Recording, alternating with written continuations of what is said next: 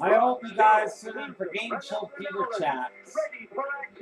Classic Family Feud 1978. Well, it's time for the Game Show Fever Chat Showcase. You know, 50 years ago, ABC brought brand new sitcom. And I fell in love with that show ever since. It was a family of nine. The show was the Brady Bunch. Coming up next, we got Florence Henderson and Robert Reed playing Password. I Next, know, since coming up next. Henry Winkler, got married. You're just trying to get around me, aren't you? Only one left. And I'm fading fast. Where's our wedding family watch?